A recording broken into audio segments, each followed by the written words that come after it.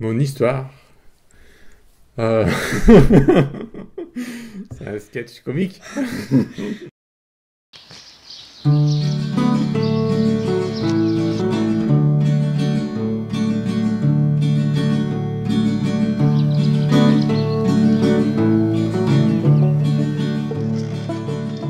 Ce que j'aime dans mon métier, c'est euh, plusieurs choses. La première, c'est que c'est un métier assez complet dans lequel en fait j'ai à la fois de la un côté plus cérébral, intellectuel sur la conception, euh, presque un côté un peu recherche des fois, et puis sur l'innovation, et voilà.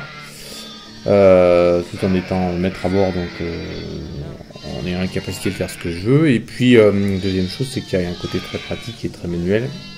Donc c'est l'alliance des deux, entre le côté manuel et le côté, et le côté pratico-pratique, quoi. et le côté intellectuel, enfin plus conception des choses. quoi. C'est le fait que les deux soient assemblés dans un même boulot qui est intéressant. Enfin, moi, je trouve intéressant. And you don't put your book down even after it ends.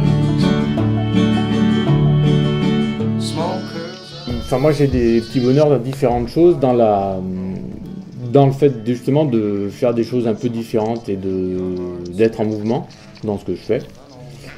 Euh, ça, c'est un premier bonheur. Et le deuxième bonheur, c'est dans les choses du quotidien.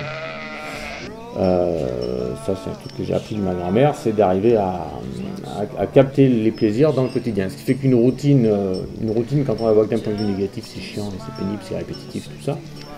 Quand on la voit d'un point de vue positif, c'est quelque chose où on retrouve du plaisir en fait dans des choses quotidiennes.